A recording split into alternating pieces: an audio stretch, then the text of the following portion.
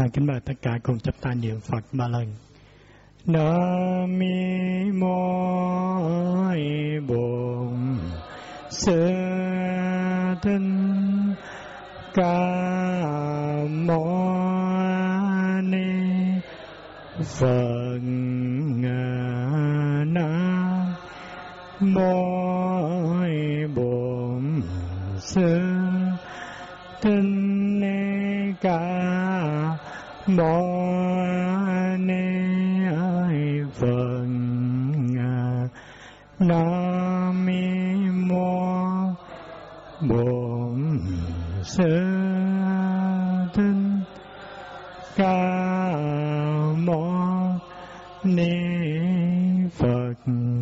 mời quý thầy quý cô ngồi xuống À, Nam mô Phật Bổn Sư Thích Ca Mâu Ni. Kính thưa toàn thể quý thầy, quý sư cô. Hôm nay chúng ta học bài 5, đó là bài Thiền phái Trúc Lâm.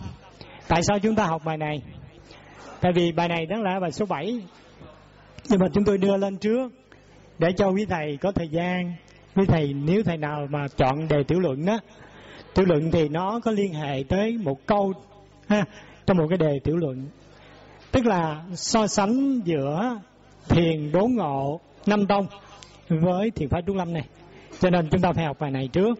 Đặng trong lúc mà quý thầy nghỉ tết đó, quý thầy có thời gian, quý thầy tham khảo, quý thầy làm, đúng không? Chứ để mình dạy cuối cùng thì quý thầy không đủ thời giờ. Cho nên mình đáng lẽ bài này bài chót, nhưng mà mình rút lên để vào bài số 5 là như vậy. Thì kính thưa quý thầy trên hình à, ở trên đó là sơ tổ trúc lâm trần nhân tôn. Đó, chúng ta thấy đó, đó là cái tượng thờ ở ngoài bắc ha ở chùa long động. Thì bây giờ chúng ta đó khi nói về cái thiền phái này chúng ta phải xét về cội nguồn. Mà cội nguồn từ xa đó xét từ xa về trước đó thì thiền phái trúc lâm là cái dòng thiền tổng hợp từ ba dòng thiền có trước đó thứ nhất là tỳ ni đa lưu chi. Đây vào thế kỷ thứ sáu, ha, thì có cái thiền phái này. Thì thiền phái này đó là người tổ là, tên là tỳ ni đa lưu chi, người nam thiên trúc à. Ngài sang trung hoa, ngài đắc pháp với tam tổ tăng sáng, và được tam tổ chỉ dạy là ngài sang việt nam mình á, để truyền bá à. Thì theo lời dạy của tam tổ thì thiền sư tỳ ni đa lưu chi đến việt nam ở chùa pháp vân. Cái thầy nhớ nha pháp vân ở bắc ninh á. À, vào năm 580 truyền pháp cho ngài pháp hiền. À, của người Việt Nam mình mở đầu cho cái dòng thiền tông ha, ở Việt Nam mình. À, thì dòng thiền này gồm 19 thế hệ. Ha. cái thầy chỉ ghi vắn tắt thôi vậy mình sẽ phát cái tài liệu có tài liệu đây. Ha, khi nào xong có tài liệu đây? Cái dòng thiền thứ hai, đó là dòng thiền vô ngôn thông. Thì vào thế kỷ thứ 9 vô ngôn thông là ai? Đó là đệ tử của thiền sư bát trượng. Ừ. chưa chưa. Mình trở lại. Ở đây mình nói vắn tắt à. Thì ngài vô ngôn thông đó, đệ tử của tổ bách trượng, hoài hải. Mà tổ độ bách trượng đó là đệ tử của mã tổ đạo nhất mình mã tổ độ nhất là đệ tử của nam nhạc huệ nhượng. Nam hoạt nhà nhượng là đệ tử của lục tổ huệ năng. Cho nên đây là đệ tử, con cháu của lục tổ huệ năng. Mà sang việt nam mình, ha, theo lời dạy của tổ bách trượng, thì vô ngôn thông. Nhà ngài đi sang việt nam mình, ngài tới ông ở ngoài bắc luôn, cái thầy nhớ, ở đó là truyền bá ngoài bắc không à? Lập nên cái dòng kiến sơ, đi ngài ở chùa kiến sơ ngoài bắc. Cái dòng thiền này đó ngoài cái tên vô ngôn thông, còn có tên là kiến sơ. Ừ. và thế kỷ thứ chín. Thì cái hệ phái truyền thừa gồm 17 thế hệ. À. cái đó là dòng thảo đường, nhưng chúng ta thấy trên bản đó, thì thế kỷ thứ 11 thì dòng thiền này sang Việt Nam trễ hơn hai dòng thiền trước. Dòng thiền thảo đường do thiền sư thảo đường. Cái nguyên do là khi mà vua chúng ta đi đánh chim thành đó thì bắt được. À. Bắt được một cái tù tù như tù binh. À thì cái tù binh này á thì vua thấy ông này có vẻ học thức. Ha, tướng não cũng khôi ngô nó để nó làm việc quét dọn trong cung đình á. À, trong cung vua. Thì một hôm ở trong cung vua có những vị tăng á cao tăng họ để những cái bản ngữ lục phải không? Trên bàn. Cái vị tù binh này nè ổng cầm bút ổng sửa ổng sửa thì người ta mới phát hiện đây là một thiền sư. Thiền sư. À từ ở bên trung quốc qua ở chim thành đó rồi mình đánh chim thành mình bắt được. Thì khi mà hỏi ra đó thì mới biết đây là thiền sư thảo đường, đệ tử của tuyết đậu trùng hiển, thuộc về tông vân môn, đời thứ ba của tông vân môn. Cho nên so với trong hệ phái của lục tổ huệ năng thì ngài đời thứ 10 sau lục tổ. Tức là cũng con cháu của thiền đốn ngộ năm tông à, giống như thiền phái vô ngôn thông vậy ha. Thảo đường này thảo đường và vô ngôn thông thì là xuất phát từ cái hệ đố ngộ thành phật năm thông thiền.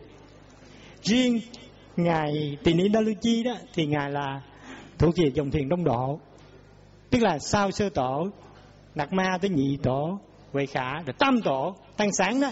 Thì tỳ ni đa lưu chi này chính là đệ tử của tam tổ tăng sáng. Ngài cùng một thời với ngài đạo tính và được tâm tổ kêu sang việt nam để truyền bá. Trong khi đó đạo tính thì vẫn ở trung quốc là như vậy. Ngài đạo tính là dòng chính. Tỳ ni đa chi đối với trung quốc á, là dòng phụ thôi bàn thôi bàn sức cho nên đi sang việt nam mình truyền bá. À cái thầy nhớ như vậy.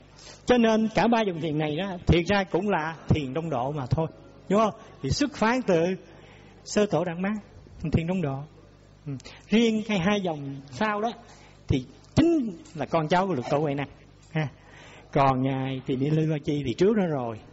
Tại ngài đại thứ tư ngang như tổ đầu tính. À tức là có trước lục tổ. À cho nên ngài xuất hiện rất sớm thế kỷ thứ sáu là có mặt. À, trong khi vô ngân thông và thảo đường tới thế kỷ thứ chín thế kỷ thứ 11 mới sang nước mình. Và thiền phái trúc lâm đó do sơ tổ trần nhân tông thành lập đó thì ngài dựa trên ba dòng thiền này đây ngài tổng hợp tinh hoa của ba dòng thiền này tặng ngày đúc kết lại ngày sáng tạo ra dòng thiền trúc lâm việt nam mình. À thì một chút mình sẽ nói những điểm đặc biệt của thiền phái trúc lâm. Ha. đúc kết từ ba dòng thiền này. Thì đó là cái mạch nguồn mà gián tiếp từ xưa. Thì ra nếu mình nói từ tam tổ, tăng sáng, hoặc nói từ lục tổ huệ năng, thì nó cũng hơi gần đấy đó. Xét cho kỹ đó, thì từ đâu? Từ phật thích ca mâu ni như mình học bài hai đó khi phật cao trên hội linh sơn dơ kình qua lên đúng không? Thì dòng thiền này nè nó trúc lâm này nè nó cũng tiếp nối từ thời phật thích ca đúng không? Chạy dài suốt nó có nguồn gốc đàng hoàng. À, đó là mình xét xa về trước mình xét trực tiếp thì sao thì do tổ trần nhân tông thành lập nên. Mà trần nhân tông ấy, ngộ thiền với ai? Ngài học thiền với tuệ trung thượng sĩ thế thầy nên nhớ thầy của ngài á, thì không phải là tuệ trung. Thầy mà cạo tóc xuất gia mà là thiền sư huệ tuệ. Mình sẽ chiếu cái cái hình đó ở đây cho quý thầy thấy. Ngài thiền chiếu á truyền xuống ngày hiện quang. Ha thì bắt nguồn từ thiền phái vô ngôn thông. Ngài thiền chiếu thuộc dòng vô ngôn thông như nãy mình học đó. Rồi từ ngài thiền chiếu mới truyền xuống ngày hiện quang. Ngày hiện quang chính là sơ tổ của thiền phái yên tử yên tử nha. Yên tử. Và ngài trần nhân tông á. Đây. Ngài thuộc về đây trúc lâm nè. Ngài là tổ thứ sáu của thiền phái yên tử. Này à, yên tử nè. Nhưng mà đối với thiền phái trúc lâm không đó thì ngài là sơ tổ. Vì ngài thành lập ra. Nhưng mà cái cái cội nguồn đó thì từ ở đây xuống thì ngài hàng thứ thứ sáu. Một nè. Hai ba bốn năm sáu. Ha cả tới ngày thiền chiếu, là ngày thứ sáu nè. Đối với dòng yên tử, vì sao? Vì hiện quan đó lên núi yên tử. Là người đầu tiên, ngày hiện quan thì xuyên quan chứ không phải trần nhân tông đầu tiên hay yên tử. Rồi ngài mới truyền cho ngài đạo viên viên chứng. Ngài viên chứng này, đó là, gọi là tổ mà trúc lâm trúc lâm ha. Ổng á, đạo đạo viên viên chứng này chính trần thái tông thờ ngày này làm thầy. Quốc sư ha trúc lâm là ngày này. Chứ không phải quốc sư trúc lâm không phải là trần nhân tông nha. Quốc sư trúc lâm chính là đạo viên viên chứng nha. Ha. À, đệ tử ngài hiền quang. Trần thái tông đó là ông nội của trần nhân tông đã từng theo ngài viên chứng này đây. Quốc sư trúc lâm này để học đạo. À, khi lên núi yên tử. Đó. Này. và ngài viên chứng á, mới truyền cho đại đăng quốc sư à, đại đăng quốc sư này à, việt nam nha. Ở bên nhật cũng có ông đại đăng nữa. Nhưng mà ở đây là việt nam đại đăng quốc sư. Nên đại đăng quốc sư ngang trần thái tông không? Cùng một thời. Trần thái tông nó cũng là một ông vua tu thiền cũng đắc đạo nữa. Cho nên đã được kể vô cái thiền phái này luôn. Này ngang dưới đại đăng quốc sư. À. rồi đại đăng quốc sư á có một học trò tên là ngài tiêu giao phúc đường. À, ở đây à. và ngang với đại đăng ở đây, có một bên này thì có tiếp nhận một dòng thiền bên tàu á. Rồi đây dòng thiền thiên phong của ngài thiên phong. Dòng thiền lâm tế của ngài thiên phong truyền qua. Ngang đây. Tại mình không có để vô đây. Ha bị vụ tàu không để đây. À. thì dưới ngài tiêu giao đó, thì có tùy trung. Tùy trung là nhân vật mà nơi là cư sĩ thôi, một thiền giả thôi, nhưng rất nổi tiếng, ha. Tức là thầy của trúc lâm, thầy của ngài trần nhân tông. Thầy mà gọi là khai ngộ đó chứ không phải thầy xuất gia. Bị ông cư sĩ ông đâu truyền pháp xuất gia được. Ông chỉ làm cho trần nhân tông ngộ đạo thôi. Cho nên tùy trung là con người đối với thiền phái này á, ông rất có công. Ha? À, phái trung lâm này. Tùy trung thượng sĩ có một cái tập ngữ lục mà hồi trước giải phóng á ở đạo nhà hạnh này có thầy trúc thiên á ông ấy cũng cư sĩ thôi ông dịch. À là tuệ trung thượng sĩ ngữ lục. À, à, hồi xưa cũng lấy cái bạn đó để dạy đây nè. À, ngữ lục trú thiên dịch hay lắm. Ừ. sau này có thầy lý việt dũng đó lý dũng đó dịch lại cái đó. Bởi vì trú thiên tuy hay trú thiên tuy hay nhưng mà trú thiên có những cái chưa ổn. Thì chữ nghĩa chưa ổn cho nên thầy lý việt dũng mới sửa lại. Và thầy lý dũng thì rất giỏi. À thì sẽ chỉnh lại các bạn đó. Thầy ra một cuốn sách vậy nè tự trung thư sĩ ngữ lục. À thì cuốn đó thì để bổ sung cho cái cuốn của trúc thiên. Trúc thiên thì dịch ra thơ rất là tuyệt nhưng ngộ đặc biệt là chữ nghĩa ổn thì chưa chặt lắm cho nên còn nhiều lỗ hở trong đó. Chính nhờ thầy lý duy dũng chỉnh lại cho nó hoàn bích hơn. Chúng ta có thể tham khảo những cuốn sách nói về trần nhân tông trong tề trung thiên sĩ Ngư lục này. À, bởi vì đó là thầy của ngài trần nhân tông và sau trần nhân tông đó thì sản sinh ra ngài pháp loa là nhị tổ và tam tổ là quyền quang đây là hai nhân vật gọi là cử phách đó rất là giỏi. Và ở yên tử người ta thờ ba vị này gọi là tam tổ trúc lâm ha. Trần nhân tông pháp loa và quyền quang à, mình sẽ có cái hình đây.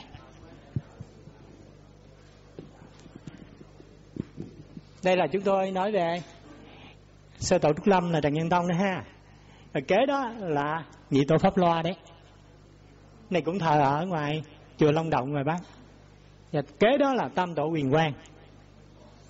Tam tổ quyền quang mình đi sơ quan chút cho quý thầy biết. Nhân vật này rất là lỗi lạc. Nhân vật này là trạng nguyên nước mình đó mà đi tô phát tâm đi tô. Giỏi lắm. Ừ, rất là tài ha. Nhưng mà ông xuất gia hơi muộn biểu mất làm quan trạng nguyên phải làm quan thôi. xin với với trần nhân tông đi tô à trần nhân tông nó khoan à. Ông lo làm quan đi chứ ông giúp triều đình đi. À cho nên ngài xuất gia hơi muộn.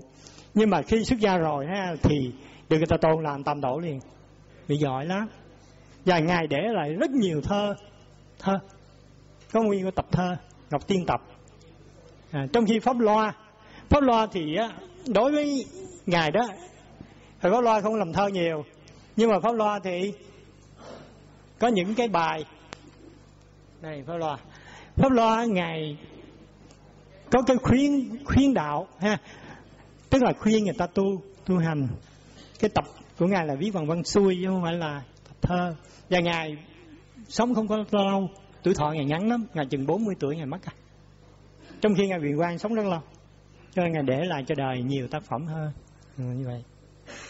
Rất tiếc ngài pháp loa không sống lâu đi ngài làm việc quá sức. Ngài cất chùa và vào thời trần đó, ngài là người đứng là đứng ra tổ chức để mà in đại tạng kinh việt nam đó. Dữ dội là vậy. Ừ. tức là thì ra nói chữ việt nam thì không có đúng. Vì hồi xưa xài chữ hán không à biết không? Nhưng mà ông tổ chức ông in cái đó, in cái bản kinh đó. Ngài làm việc nhiều lắm, ngài cất nhiều chùa. Và ngài cũng đào tạo tăng tài rất nhiều. Cho nên làm việc quá sức nó nghe ngày 40 tuổi ngày mất à. Ờ, rồi ngài quyền quang mới lên cái vị làm tam tổ.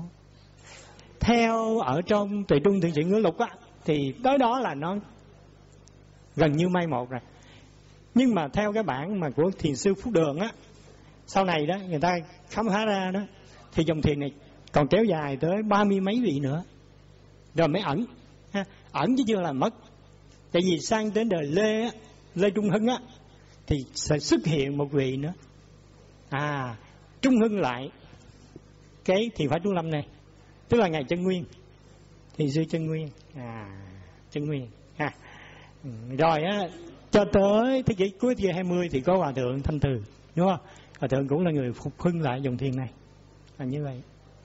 Ừ, đó là mình tóm tắt, ha, ngắn gọn cho quý thầy biết về thiền phái trung lâm. Ừ, có những gì nổi bật như vậy bây giờ chúng ta xét những nét nổi bật ha. Nổi bật. À, đây. Tức là ông vua đi đi tô à ngài là một ông vua ở trên cái bệ cao chính bệ đó. Nhưng mà ngài hồi còn trọ nhẹ nhỏ đó ngài đã từng nhường ngôi cho em ngài. Chứ ngài không có thích làm vua cứ làm làm thái tử nhường ngôi cho em mà, mà ở triều đình không có chịu ngài giống như phật thích ca đó đã từng trốn hoàng cung leo khỏi hoàng thành đó để đi lên núi yên tử. À, đi lên núi yên tử để mà học đạo tu hành. Nhưng mà ở trong triều đình họ được theo họ bắt lại phải không? Bắt ngài phải ngồi đó làm vua. À, chứ ngài không đi thoát được. À, và ngài có cái công là sao? Là khi giặc nguyên sang đánh nước mình á ngài đã từng cầm quân.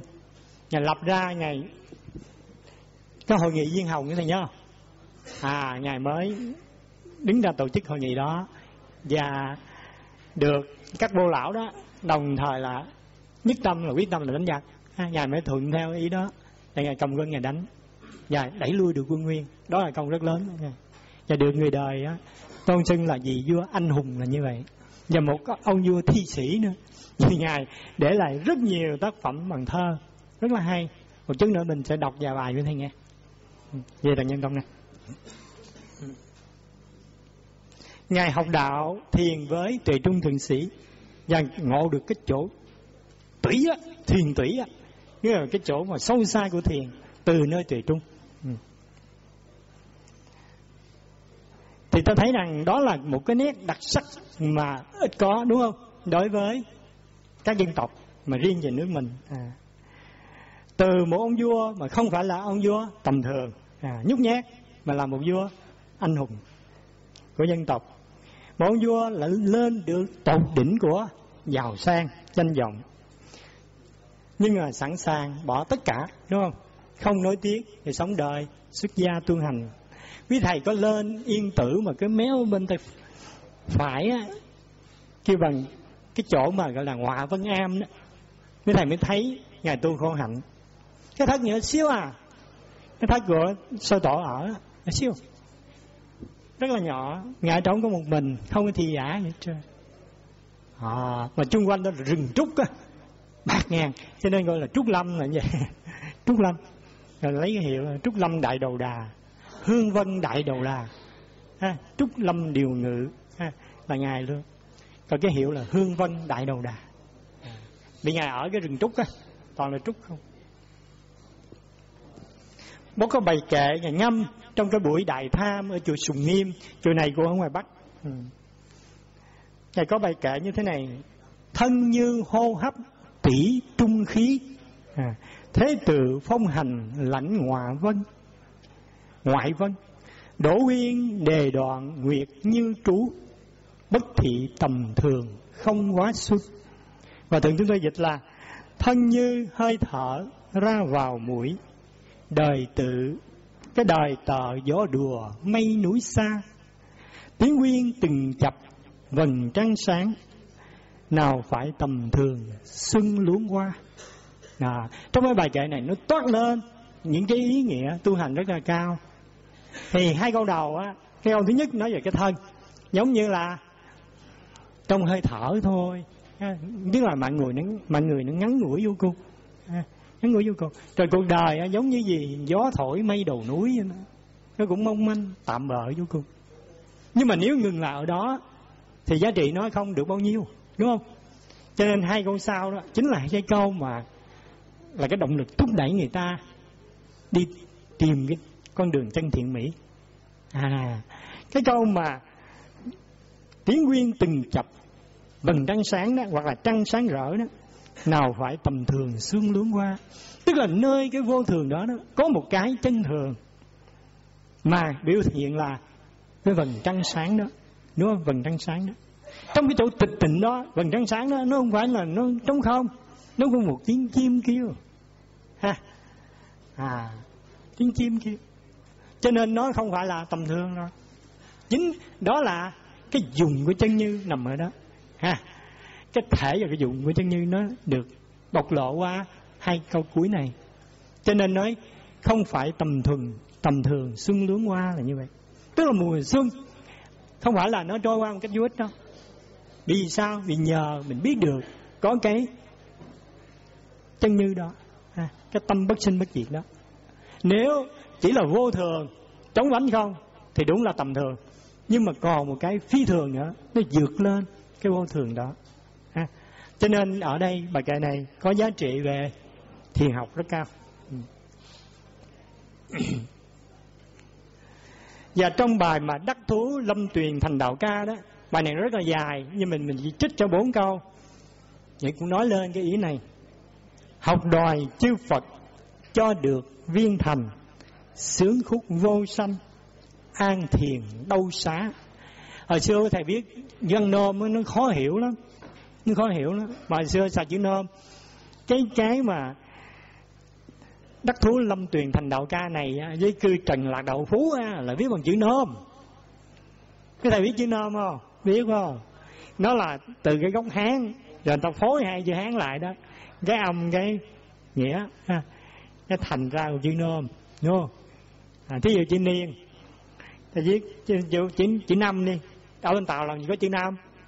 Ha thì người ta sẽ viết chữ niên. Ha. Để lấy cái ý. À, ý là ý là năm. Nhưng mà phải có một cái từ đọc thành chữ năm nữa. À kế bên viết với cái âm người nữa kế bên nữa thì chỉ đó đọc là năm. Đó năm. Ha. Có những từ mà bên chữ hán không có. Thì chữ việt mình đọc vậy mà nhưng chữ ngọt nha. Làm gì bên bên tàu có chữ ngọt. Ví dụ một ai đó tên là ngọt. Rồi khi mà viết á với ông đó chết thì viết làm sao? Cho nên mấy ông quan nước mình nè hay lắm sáng tạo ra. Viết bộ cam bên cam là ngọt á mà viết chữ ngọt bên. Đọc trái trại ngọt. Ngọt. Vui lắm. Về tháng non là rất là vui. À, có những cái giai thoại là chỉ non tháng non rất là vui. Có ông chết tình chữ gáo không biết viết làm sao. Gáo á. Cái cái ông thầy cúng mình á hồi xưa mấy ông thầy mình cũng kêu mấy ông thầy cúng luôn lê văn thì viết được rồi, nó có chữ hán luôn nhưng tới chữ gáo mới viết cái gì sao phải vẽ thôi. Vẽ như nè. Đúng không? Rồi xuống vậy luôn. Cái gáo hồi xưa múc nước bằng gấu dừa, nhớ không? Gáo nè. Đó, chữ nôm là vậy đó.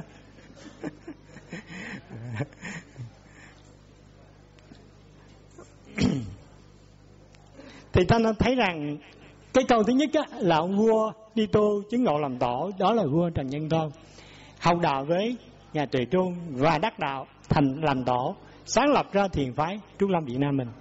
À. cái thứ hai ha. Đây thống nhất các dòng thiền thành một dòng thiền việt nam đưa lại niềm tự tin.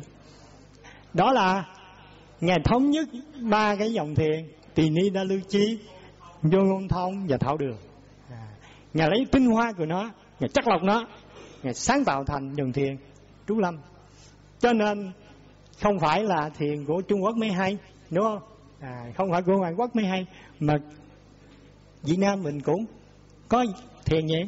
Không phải dòng thiền từ nước ngoài truyền vào mới hay dòng thiền trong nước không hay đúng không?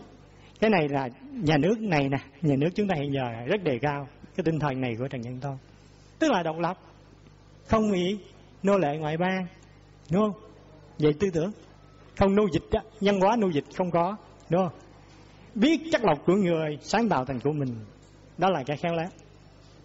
Đó là việc tiếp biến đó đúng không? Đó là cái hay của trần nhân tông chắc mình trở lại mình nói một chút nữa. Cái này nè thiệt ra đó tổ xây dựng ở đâu? Tức là dòng từ thiền đốn ngộ, nam tông của được tổ quay năng.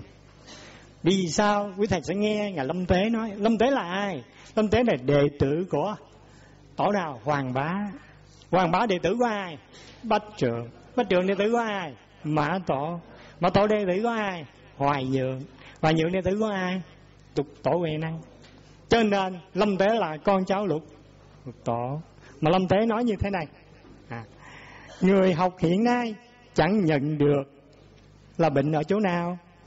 Bệnh ở chỗ chẳng tự tin.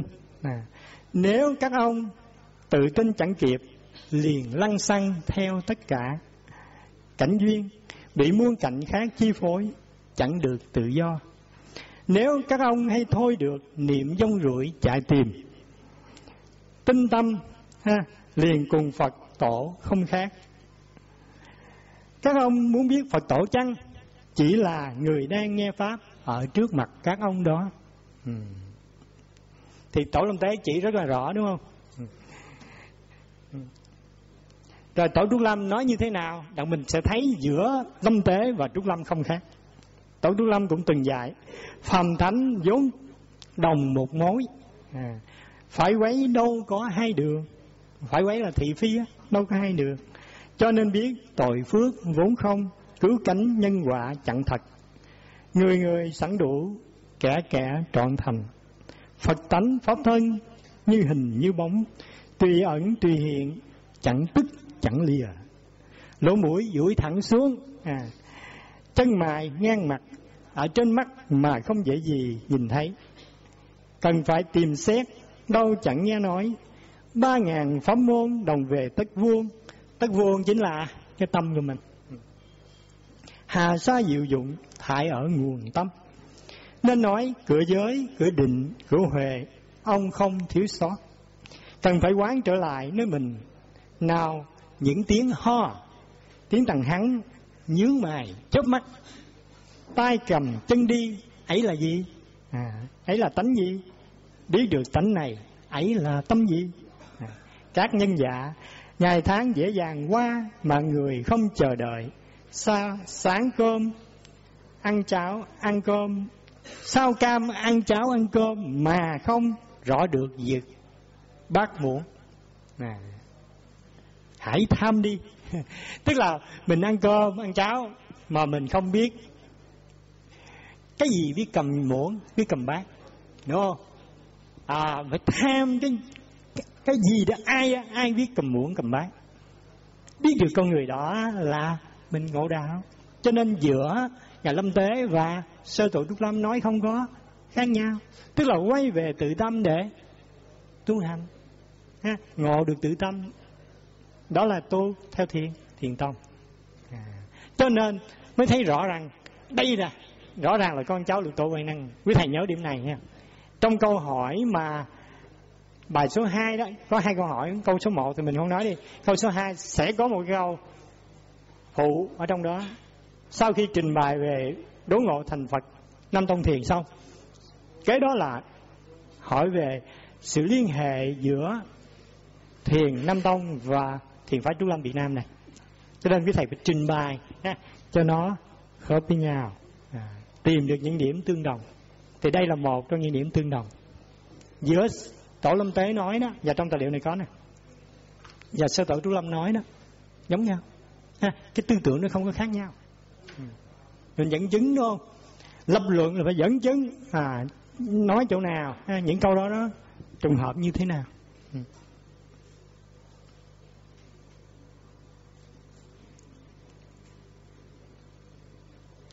Bây giờ chúng ta sang một phần nữa số ba là thiền giáo song hành, sáng tạo chứ không có bắt chước y khuôn. Tại sao? Vì á quý thầy biết rằng thiền mà ở bên trung quốc á, nhất là sau lục tổ huệ năng, thì ít có chủ trương học kinh điển lắm. Mà vô đó, thí dụ như từ ngày hòa nhượng trôi suốt thường thường các chư tổ á, khai thị bằng cách trực tiếp thôi, chỉ thẳng, chứ không có dạy kinh, luận. Ví dụ như hỏi thế nào là tổ sư tưởng độ sang thì ông thầy có thể là giơ cái phật tử lên. À đang cầm phật tử giơ lên. Vậy là dạy rồi đó. Chứ không có dẫn kinh gì nói chứ, không kinh luận vậy hoặc là kêu lại gần đây, nó nói nhỏ cho nghe. Mới lại gần đạo cho một đạo và tác cho một tác ta vậy đó. Mà cái kiểu đó thì ở bên đây không có dùng. Đặc biệt thì phải trung lâm ít khi dùng cái đó lắm. Không dùng. Mà dạy người ta học kênh. À dạ học kênh học luận. À, tại sao? Thì đó là cái sáng tạo của thiền sư việt nam mình mà. À, chứ không bắt chước rộng khuôn theo trung quốc. Đó là cái hay ha, của việt nam mình đúng không? Mà bây giờ hòa thượng chúng tôi cũng đi theo con đường đó. Tức là thiền giáo song hành của thầy à. Thiền ha là tu thiền. Giáo là thầy học kinh ví dụ học kinh lăng nghiêm. Hồi xưa có không? Có đó chứ à, tức là ngài à, sơ tổ thì từng giảng truyền năng lục. Đó là dạy lấy cuốn truyền năng lục á. Cảnh đức truyền năng lục nó dạy. Chứ tức là đâu có phải là chỉ ra những thủ thuật thôi.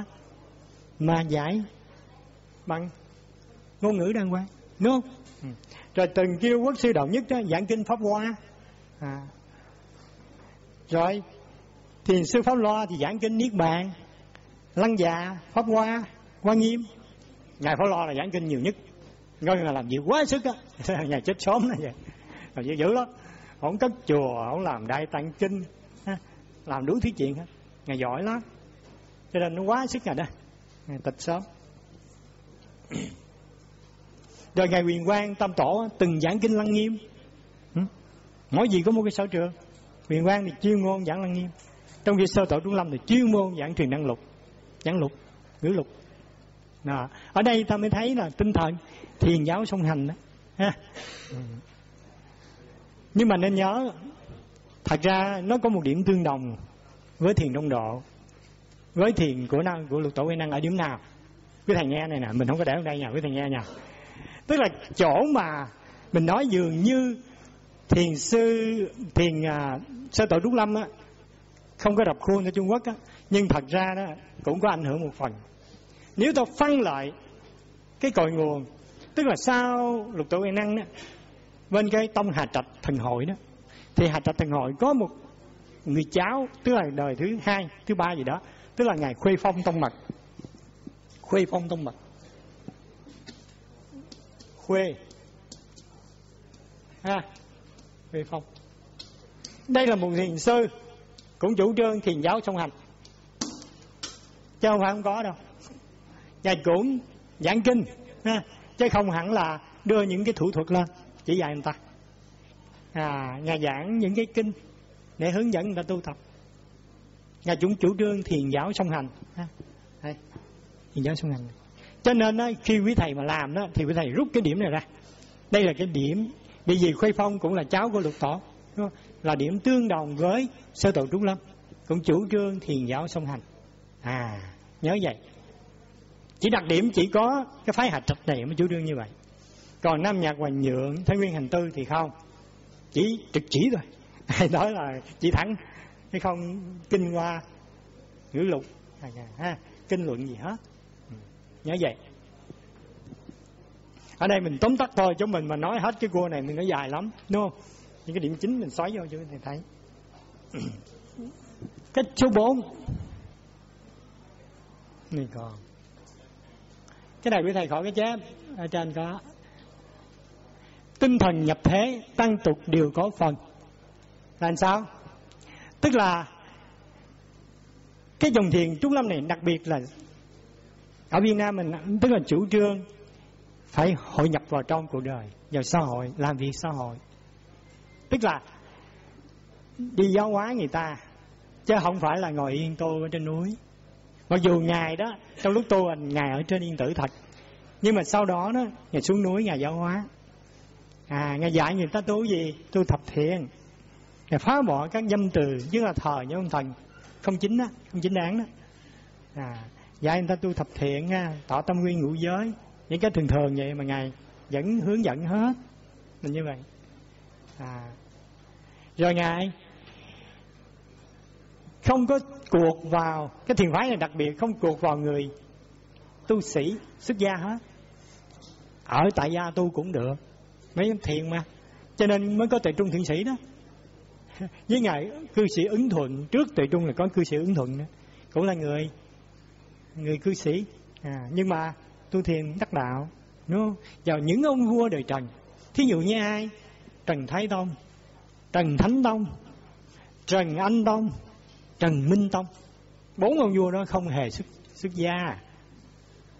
Cư sĩ thôi ở trên ngôi tu vẫn đắc đạo. Chỉ riêng trần nhân tông ở giữa đó. À, sau thánh tông đó, năm ông vua chỉ có trần nhân tông là đi tu cạo tóc thôi. Còn bốn ông còn lại nữa ha là không có cạo tóc. Đó, cho nên nó tăng tục đều có phần là như vậy. À, đúng là một điểm rất độc đáo. Quý thầy mà lật ở trong cái sử đời trần đó mà sách này nó nằm ở trong diễn diễn đông bắc cổ đó thì có những cuốn sách nói về năm môn vua này nè. Năm vua này trần đi tu nè à, có. Mình cũng có cái bản hán đó. À, đặt ra thì kể rất rõ về năm vị vua đó. À, mà đặc biệt chỉ có trần nhân tông là cạo tóc xuất gia thôi. Và cái người cạo tóc cho trần nhân tông nó là ngài huệ tuệ. À, như nãy mình trình bày đó. Huệ tuệ ngài sau um, sau ngài tiêu giao ha. À, tiêu giao thì sanh ra tuệ trung ha. Tuệ trung à ngài tuệ đại là ngang với tuệ trung cũng là bậc thầy của trúc lâm. Tuệ trung thì truyền thiền dạy cho ngộ đạo nhưng mà không có cạo tóc xuất gia. Mà chính huệ tuệ đó là ông thầy tu mà mới cạo tóc cho ngài trần nhân tông xuất gia. Nhớ nha cái điểm này ờ, khi mình đi đi thọ giới người ta hay hỏi hỏi ai thầy cạo tóc cho trần nhân tông? Mình nói tuệ trung là sai á. Thì sư huệ tuệ. À. ở trong cái cái gia phả đó tức là cái tông thống của thiền trúc lâm đó, có kể những gì này hết. Như nãy mình chiếu với thầy coi đó. Ha huệ tuệ. thì trần thánh tông đó ông cũng đặc biệt lắm. Ông này là là ai? Là cha của trần nhân tông nha. Cha trần thánh tông. Ngài cũng có làm bài thơ. Thì ra những vua đời trần ông nào cũng biết làm thơ chứ làm kệ rồi rất là hay. Trần thái tông là nguyên cái cuốn khóa hư lục. À, tức là ông nội trần nhân tông là nguyên cuốn khóa hư lục. Rất là hay. Mà những thiền sư trung quốc á rất là khâm phục. Không sửa được chữ nào cả. Khi đưa cái bạn nó qua bên trung quốc thì sư trung quốc khen rất là hay. Rất là tài. Văn chương của thầy đọc rất là hay. Nhưng mà văn chương nó hơi, văn chương cung định chút. Nó nặng về ở trong hoàng cung lắm. Rồi sang tới trần thánh tông á, thì có những bài kệ ngắn ngắn. Ở đây mình lấy một bài mình đọc cho thầy nghe. Tự tòng quán giác nhập thiền lưu, đã ngọa toản quy, một ngoại cầu. Nhận đắc bản lai, chân diện mục, đáo đầu hà xứ bất hưu hưu đọc nghe nó hay, đúng không? Cái ông tiếng hán rất là hay. Dịch nghĩa là, từ khi bé bỏng đã vào thiền, đập ngói dồi rùa, ngoại cầu quên. Nhận được xưa nay mày mặt thật, cuối cùng đâu chẳng chỗ an nhàn. Tức là, nói lên là mình, những cái năm tháng còn bé đó, ha, mình cũng đã biết về thiền rồi. Nhưng mà mình lại. Không biết hướng ngoại tìm cầu, ha. Những năm trước đó nữa thì không biết hướng ngoại mình tìm cầu. Rồi sau đó thì sao? Nhận được cái chân diện mục, bản lai chân diện mục. Tức là cái mà vô nhất phật của Đức Tổ nói đó. Thì sao? Thì đi tới đâu cũng thấy được nhàn hết trơn. An nhàn đó. Đúng không? Được an vui, nhàn nhã. Sự thật đối với người mà kiến tánh á thì sao? Thì sẽ được an lạc đúng không nè? Người thấy được cái cứu cánh của của đạo rồi. Thấy được tột cùng. Cho nên vua trần thánh tông á ông này cũng hay lắm. Chết cũng tự tại vô cùng. Nói chung các vua đời trần chết rất là hay mặc dù là cư sĩ. Ừ, tuyệt vời lắm. Người ta tới người ta hỏi ngài ngài trả lời rất là tự tại.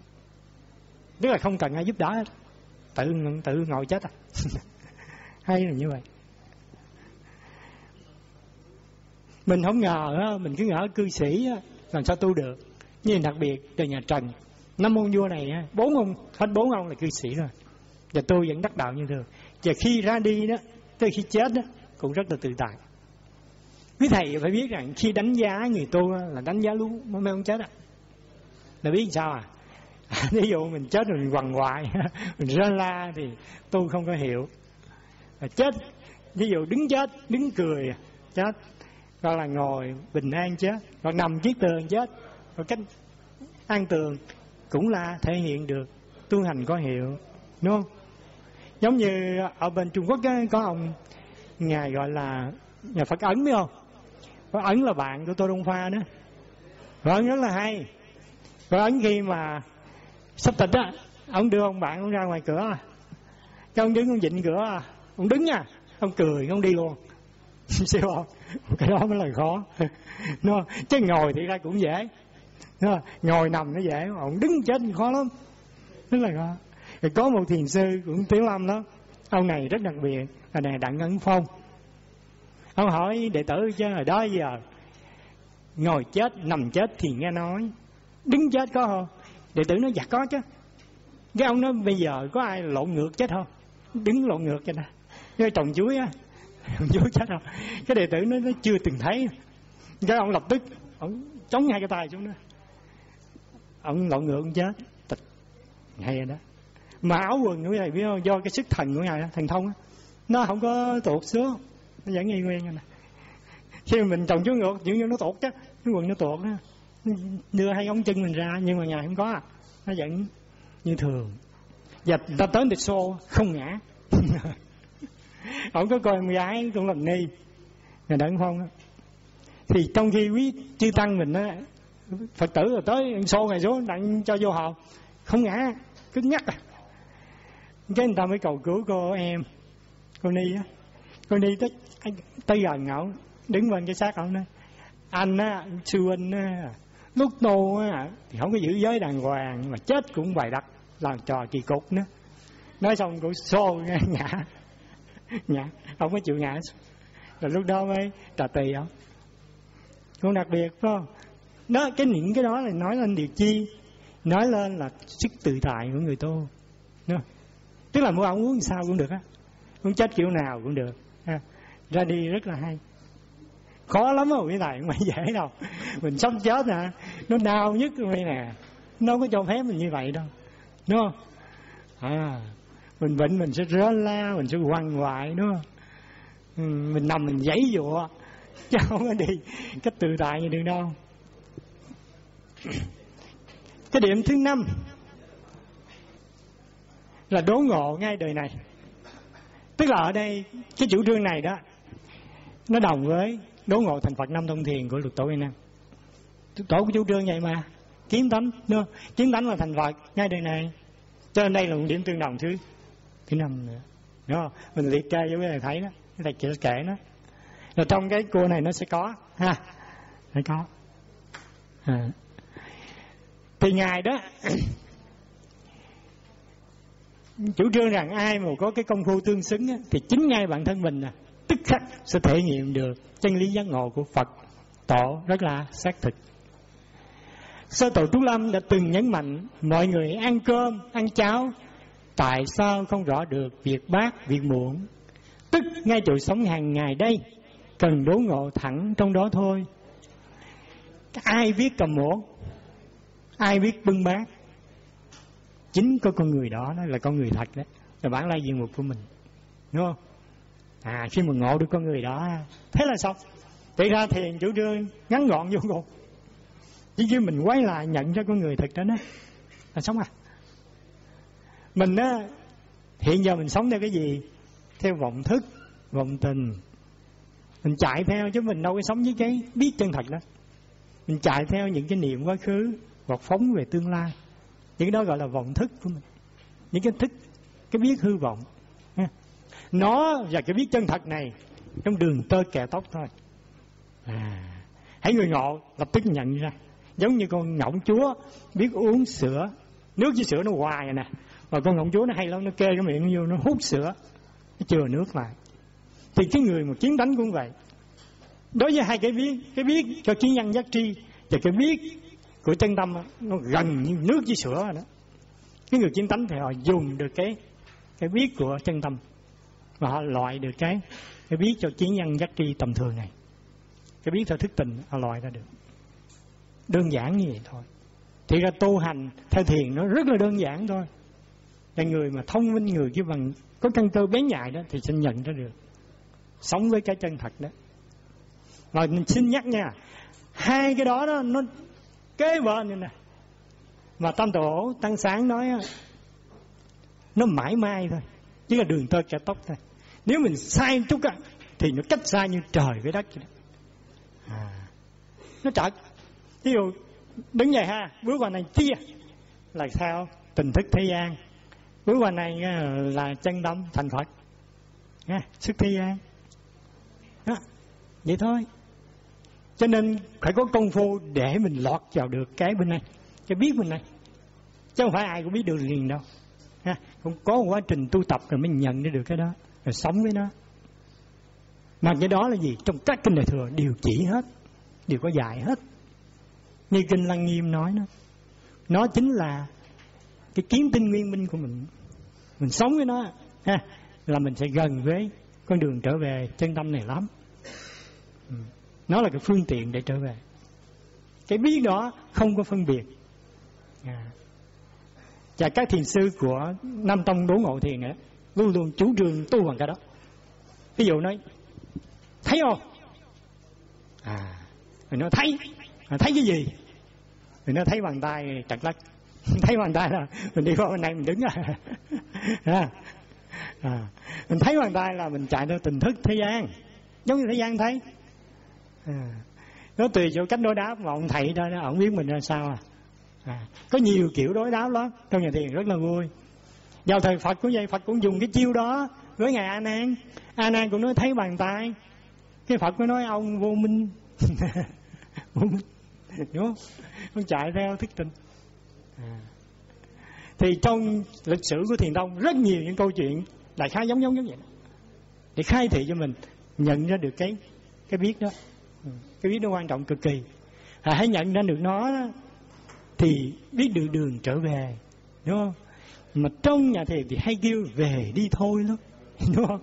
Như tự trung thượng sĩ khi mình về đi thôi. À, tức là về nơi cái cố hương của mình cái chốn cũ của mình đúng không? Trần thái tông cũng nói đó, bao năm làm cách phong trần mãi, ngày mất quê xa dạng dặm trường. Tại vì mình xoay lưng với cái thánh giác đó, mình rong ruổi theo sáu trần cho nên mình không có thấy được chân tâm là như vậy. Đúng không? Mình làm kẻ lãng tử à tối ngày đi ngao du sân thủy hoài. Hoặc đi ta bà thế giới mà không có chịu quay lại ở đây nói về sự phục hưng thiền phái trúc lâm. Đây là cái cuối cùng. Nơi đây ta nói nè, thiền phái trúc lâm nổi bật nhất ở thời trần với ba vị tổ đầu, đó là sơ tổ trúc lâm trần nhân tông, nhị tổ pháp loa, tam tổ quyền quang. Sau đó do nhiều yếu tố, trong đó có hoàn cảnh chính trị, xã hội, khiến những vị tu hành này phải tìm ẩn hoặc rút về núi rừng yên tu hoặc tư liệu bị thất thoát nên đối trên lịch sử dường như lu mờ một khoảng. Dường như thôi nha, chớ có lịch sử hẳn hoi đó. Sau ngài quyền quang tới 23 vị tổ nữa. Ở trong của ngài phúc điền đó, có ghi lại. Ở trong tài liệu này có nè. Ừ. chứ không phải là không có đâu. Chứ không phải nghe tới ngài quyền quang là mất đâu. Thường thường người ta nghiên cứu không kỹ người ta nói, ôi, thiền phái trung lâm tới ngài quyền quang hết rồi. Thưa không hết. Còn tới 23 vị nữa rồi sau đó nó mới ẩn một thời gian. Cho đến sau thời gian dường như tiềm ẩn đến đời hậu lê thiền sư chân nguyên lại xuất hiện trung hưng ừ. chân nguyên này cũng rất là giỏi.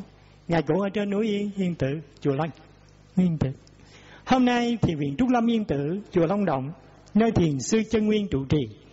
Đã một lần phục hưng thiền trúc lâm, thì giờ đây được hòa thượng thích thanh từ, một thiền sư hiện đại, đang phục hưng lại lần nữa à, chính là thầy của chúng tôi cũng đang khôi phục trong thiền này. À. bây giờ chúng ta trở lên những cái hình ha. Đây là cái bệ thờ tam tổ trúc lâm ở trước sân chùa Hoa Yên ở trên núi Yên Tử. Quý thầy lên thì quý thầy sẽ thấy cái cái cái bệ đá này. Có ba cái hình hình hình trên nè là sao tổ nè. Là tạc hẳn vô luôn. Rồi một bên là ngài pháp loa bên ngài quyền quang đây là cái tháp huệ quang. Tháp huệ quang là thờ ai?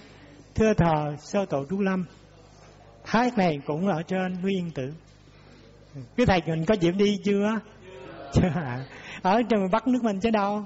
Ở tỉnh quảng ninh ha. Quảng ninh. Bây giờ hòa thượng làm lớn lắm cái chùa chùa lân này nè chùa long động nè. Lớn lắm. Ừ. nó nằm chưa phải trên đỉnh nó nằm lên núi chừng chút à. Ha, xe chạy lên tới chút rồi. Có cái chùa lân này còn đi lên trên là chùa đồng người khác à. Chùa đồng tú lên đỉnh á. Chùa đồng thì nhỏ. À, chùa đồng khác chùa đồng nó nhỏ. Long động nó khác nha. Long động là chùa lân này nè. À, chùa lân chính là chùa long động. Chính là bây giờ cái chùa mà hòa thượng chúng tôi đó đang trùng tu lại đó. Ừ, Các là rất là lớn rồi đó. Dạ ở trong đó thì có cái tháp huệ quang ha. Đó, nó trong một cái quần thể. Cái này biết không? Từ chân núi cho tới chùa đồng ha là có nhiều chùa mà những chùa ở trên nó nhỏ. Không lớn. Nhỏ. À đi cấp treo còn đi bộ cũng được. Ha à, đi bộ hay hơn đi bộ mình sẽ có dịp ngắm hết những cái chùa này. Và thưởng thức cảnh đẹp của yên tử. Yên tử đẹp lắm. Nè quý thầy mà lên khoảng lưng chừng núi đó chưa tới đỉnh đó thầy gặp chùa Hoa Yên. Này cũng hai phần ba rồi. Chùa Hoa Yên. Đây là cái chùa mà hồi xưa ngài hiện quan ở hiện quan là ông tổ đầu tiên của yên tử thiền phái yên tử. Nhớ nha thiền phái yên tử nó khác với thiền phái trung lâm. Thiền phái yên tử có trước và hiện quan là ông tổ của thiền phái này. Và ngài trần nhân tông là ông tổ thứ sáu của thiền phái yên tử này. Và ngài hiện quan ở chùa này đây chùa Hoa Yên. Cái chùa này nó rất đặc biệt. Tương truyền đây là nơi mà các vị thánh tăng ha, ở đây cho nên phàm phu phàm tăng chúng ta mà lên mà ngủ ở đây đó, hồi xưa không được. Vào thời lê rồi hậu trần đó, sang là lê, hồ lê. Có ông tăng lên đây ngủ, thì nửa đêm bị mấy ông thần núi đuổi xuất không, mấy ông không được ngủ đây. Đây là chốn thiên phủ, người phàm không ở được. Thì ông tăng nó lạch đặt đang nửa đêm phải chạy xuống. Bị đuổi rồi chạy xuống chân núi ngủ. Bị mấy ông thần đuổi cho nên mới biết rằng nó linh ứng vô cùng. Chùa yên này đây. Cái chỗ này á, là những vị tổ thường ở đây. Người ta nói ở trong đây đó có một tổ ông tu không có gạo thì gạo nước thì không có. Mà do sức thành của ông tu á tự nhiên mỗi ngày đó ở trong vách núi á, nó chảy ra chừng một lon sữa bò gạo á. Ủa ngộ vậy chứ? Cái ông có ông ăn tôi à? Ông nấu ăn tôi rồi nước vậy đồng chánh núi nó róc rách nó róc rách, chảy ra, ông hưng. Rồi ông đủ uống. Nó luôn vậy đó. Không cần phải đi xuống núi gì hết. Vào thời, hậu trần á, giờ thì hết rồi. Nhờ bớt linh. Chứ à, hậu trần nó như vậy với thầy bây giờ có lẽ là đầy đủ quá cái nó nó ngừng lại. Cái nguồn cái nguồn của trời thọ cho nó ngừng lại chứ thời đó mấy, ngay cái ngày đó là không có xuống núi nha. Cứ ở trên núi đó tu thôi. Không cần lo tới ăn mặc, uống ăn gì. Tự nhiên có thực phẩm cho ăn hay gì đó. Nước nó cứ chảy róc rách róc rách cho đủ mình uống thôi. Không có dư. Lại đó. Không có nhiều. Ha, rồi cơm như vậy, gạo tự nhiên nó có, cho đủ một vị thầy đó ăn thôi. Cái đó là điểm rất lạ lùng. Cho nên mình mới tin được cái gì? Lời Phật dạy trong các kinh điển đại thừa. Nhất thiết di tâm tạo, hoặc là dạng pháp di tâm. Ha, tam giới di tâm, dạng pháp di thức. Còn là tâm mình biến hiện không à? Không có thật. Mình thì cứ ngỡ nó thật, đúng không? Thành phố thì cứ ngỡ rằng cơm gạo là thật. Có đâu. Tùy tâm mình nó biến hiện. Ông có tâm thành tự nhiên hiện, ông có ông xài. Tin điều này không? À, cái điều này đặc biệt lắm nha. Mà cái người tu tịnh độ nó phải tin này. Thì ra cảnh giới tịnh độ khó tin lắm rồi nhưng mà nó sẽ xảy ra đúng như vậy. Tại vì toàn là tâm mình biến hiện hết. Thí dụ mình nói làm gì có đất bằng vàng. Thưa có đi. Nhưng có tịnh độ đấy có đi. Tất cả cái gì ở trên tịnh độ đều là thù thắng hết đúng không? Có chứ. Cái công đức của người tu nó hiện ra như vậy. Cái tâm mình biến hiện mà mình tô mình không tin nổi những cái đó là mình kém lắm đó nha. Có cái người đó ôi, chuyện xạo, không xạo đâu. Gì như quyển cả. Như quyển thì nó có hết trơn à. Không gì khó khăn. Nữa mình nặng di vật quá, mình nói những cái nó xạo. Nó tại mình thấp kém. Nhà mình thử hỏi quý thầy quý thầy đâu có làm gì? Người tu chúng ta nè. Mà có ăn không? Có ăn đầy đủ hơn mấy anh lao động thấy mồ nữa. Đúng không? Có phước tu, tự nhiên có phước à quý thầy tin như này không? Sự thật quý thầy đâu có lao động cày cuốc gì đâu. Mà có ăn không? Ăn còn khỏe hơn ăn còn ngon hơn. Đúng không? Còn ngon hơn bắt nông phu nữa. Mà tại sao vậy? Công phu tu hành công đức mình có. Là tại vì tâm mình nó biến hiện. Cái điều đó phải tin thôi. Không có gì là quyền bí cả. Tâm thức mình nó biến hiện. Nó tùy vô cái chỗ tâm thanh tịnh hay không á. Tôi mà không tin được điều này ha, là rất là tội nghiệp. Có mấy người tôi mà không tin được điều này phải nói phải cài cuốc lao động mới ăn. Không không hẳn. Không hẳn như vậy. Thường thường chư tổ thị hiện thôi ví dụ bên trung quốc thị hiện như mấy làm ruộng nữa một cách thôi. Chứ thị ra mong tu đúng không có thiếu đúng không? Làm gì mà thiếu được? Ở đây mình sẽ trình bày cho quý thầy thấy vài cái hình nữa và cái biểu đồ. Chúng ta qua cái biểu đồ thứ 13 ở đây chúng ta mới thấy nè, thiền phái vô ngôn thông nè. Mình trình bày cho quý thầy thấy. Nó liên hệ tới thiền phái trúc lâm nè. Vô ngôn thông nè. Thì từ trung quốc sang, ha, việt nam mình thì truyền cho ngài cẩm thành là thứ hai. Truyền xuống thiện hội, vân phong, khuôn việt đó ngay khuôn việt đại lễ ngài khuôn việt là cái ông mà chung với một cái thiền sư. Tiếp ngài lý giác đó nhá à lý giác. Lý giác ngang nghe nghe, lưỡng nghe nghe rồi đó. Cái sau đó vua lê mới hỏi, vậy chứ? Cả lý giác ngài có để làm bài thơ, tặng cho vua lê đại hành. Đại hành đọc không không hiểu cái ý luôn đó. Thì mới hỏi người khuôn việt này. À thì khuôn việt mới giải thích bài thơ đó, nó có cái câu là ám chỉ vua lê đại hành nó cũng không có khác gì vua của trung quốc. Đề cao như vậy. Cái lê đại hành mới nói à hay vậy đó hả? Thôi thiền sư á, làm một bài thơ họa lại đi. Làm rất là hay với thầy. Ngày không việc đặt bút xuống dưới liền tặng cho ông sứ giả đó đem về bên trung quốc. Tiễn ông sứ giả đó đi. Rồi thôi đó được truyền ở trong nhà thiền rất là hay. Mình rất tiếc là mình bữa nay không có chép mà đó vào đây để nó ngoài bài của mình. Không? Vì ông này đời lê đó mình đang dạy về đời trần. Khuôn việt nè. Khuôn việt. Và thôi đó nổi tiếng lắm ạ mình của ngày khuôn việt. Ở đây mới thấy hồi xưa đó khuôn việt nè vạn hạnh nè la quý nè đó là những vị thiền sư mà có tham chính tức là giúp gì đỡ cho vua ở trong hoàng cung. À, các triều vua vua lê vua trần vua lý vua trần. Thì miễn ông đó nó góp ý với vua. Thí dụ vua ông hỏi về việc trị an đất nước, thì những thiền sư này đóng góp ý kiến vô. Cho nên nó được những vị vua rất là trọng dụng. Ừ. rồi từ ngài đa bảo đó xuống ngài định hương định hương xuống viên chiếu viên chiếu xuống thông biện thông biện xuống đậu huệ, đúng không? À. rồi đây nè, xuống xuống đây, xuống bản tịnh à thì xuống dài dài xuống, thường chiếu nè, đúng không? Thường chiếu rồi xuống thông thiền nè. Thông thiền xuống tích lự ứng thượng dương. Thì ngang đây đó là có cái nhà hiện quan hồi nãy đó là thiền khai sơn yên tử.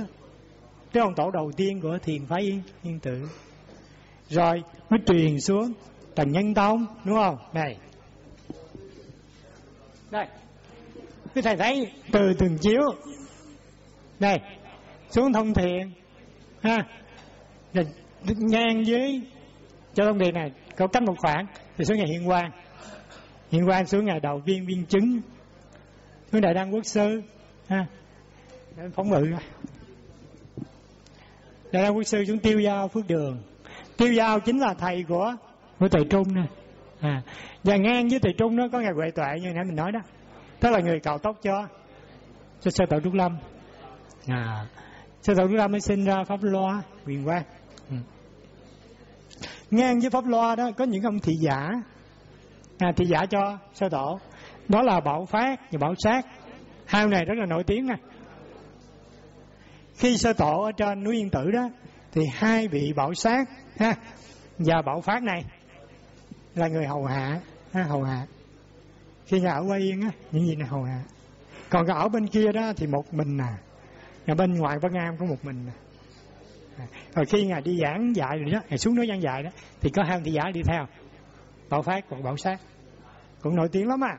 Hai hai vị này cũng là bậc âm tài của thiền trú âm đấy.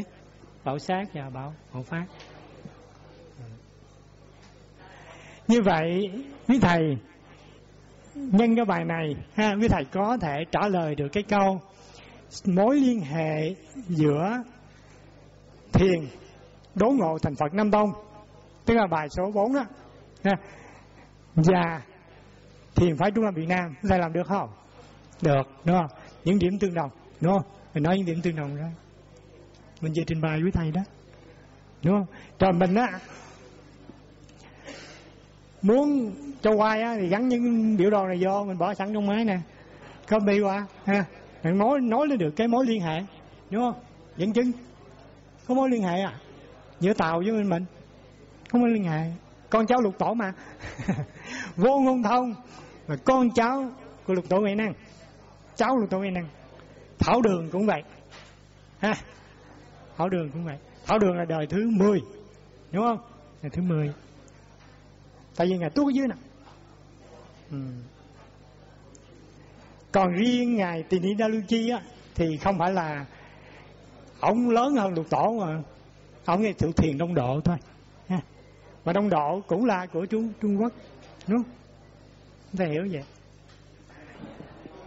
À, um, quý thầy quý cô lưu ý là mình ra đề nhưng mình đã trình với hòa thượng thường chiếu rồi. Ngay gật đầu thì mình mới đưa vô văn phòng. Cho không phải tự ý mình. Ha. mặc dù mình ra đề thật nhưng phải trình lên trên trơn á. Trên chịu rồi mình mới đưa vô đây. À tất cả những việc làm của mình là thường chiếu biết hết á. Mình thì trước khi đi dạy là mình phải ghé đó một cái. Mình trình bày hết. Những cái này phải đưa cho thầy tiền chiếu xem qua hết. Yeah. Dạ. cho nên cái bài hôm nay này nó quan trọng. Ha. Thiền phái trúc lâm. Yên tử. Sẽ liên hệ với thiền phái trúc lâm yên tử việt nam. Nó có cái câu này kèm biểu đồ giải thích đó. Cho nên quý thầy chú ý nha, cái bài số 4 á mình cũng có những cái biểu đồ đúng không? Cái thầy phải bỏ những cái biểu đồ đó vô giải thích nó. Hả? Rồi cái biểu đồ hôm nay cũng vậy. Nên cho mình biết cái mối liên hệ giữa cái thiền phái này và thiền phái yên tử. Tức là thiền phái yên tử là gì? Là con cháu ha? Của lục tổ quay năng nữa à, phải có biểu đồ người ta mới thấy rõ. Thường thường á mình nói bằng cái văn xuôi đó người ta sẽ không thấy rõ. Và mình để cái biểu đồ vô người ta biết à đúng không? À, những cái biểu đồ nó quan trọng lắm.